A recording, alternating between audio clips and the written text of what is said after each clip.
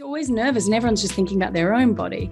But after a few minutes, everyone just stops thinking about it and they're just like, bodies in front of you. And it's a reminder that nakedness is like we are all naked. And it's so strange that we're so prudish and so protective of nakedness. I'm Leo. You must be Nancy. May I come inside?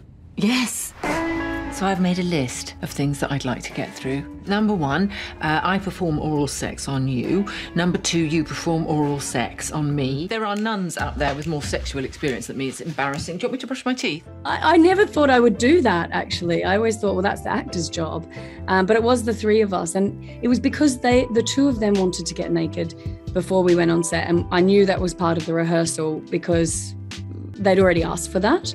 There was just a moment of challenge where where one of them mentioned it or something. And I thought, well, okay, I am asking them to do this. And I'm also asking us to action something about um, our own experience of our bodies, which is to try and like appreciate them for what they do in the world and and and what they are and the stories that they hold rather than for what they look like. And if you're trying to ask everyone to action that for you, there's a little bit of you that's like, I should action this as well. I need to inhabit it. So we did do a whole series of these workshops, and um, yeah, so the three of us got naked. I've always been ashamed of my body. Your body's beautiful. I wish you could see that.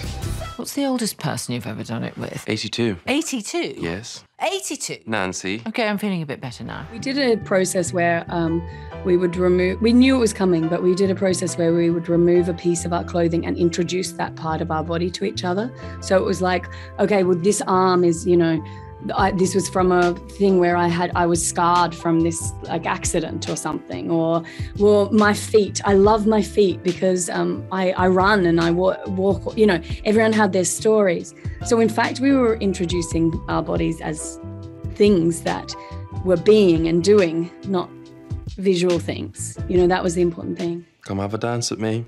I, I guess I'm frustrated. Is Leo Grande your real name? Thinking about all the places I should have been by now. No, I simply don't understand why you're doing this. This to save up for our college? Oh, how wonderful. Are you really? No. And it was nerve wracking, I guess. It's always nervous and everyone's just thinking about their own body.